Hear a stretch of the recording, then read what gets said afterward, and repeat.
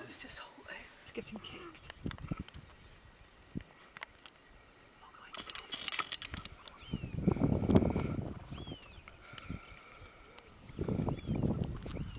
I'm glad oh, it's the wildebeest, not me.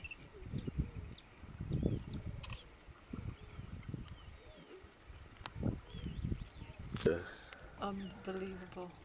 it is. Just when you saw that he went down. Yeah, you saw him crouched. Yeah, yeah. Oh my god. Pan-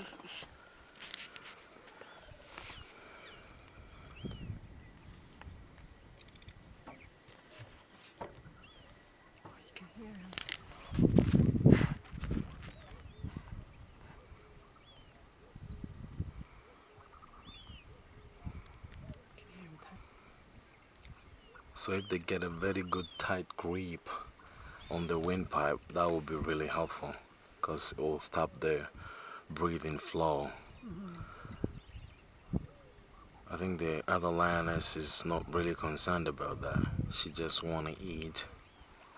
Probably the other two wildebeest, maybe these guys killed them. But their fathers took over Right. so they didn't get to eat. You can see that their stomachs is they're not that full. Oh yeah. Yeah. But their fathers Fat and happy. are happy. Oh my god.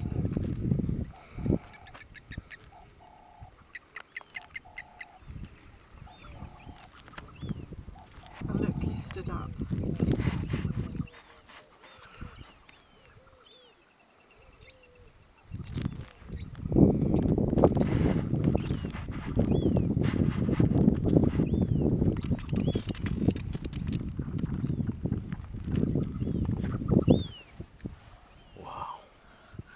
See the stomach on the side there? Yeah. It's like he's got some kind of a skin disease. Yes, he does.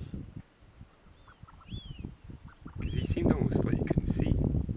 Because the other one behind suddenly spotted the lions and stopped. And stopped and was stomping the ground Yeah, until yeah. the other Yeah. one stopped Yeah. moving. Yeah, and, then, and he just kept on going. He was like oblivious to everything. Behind.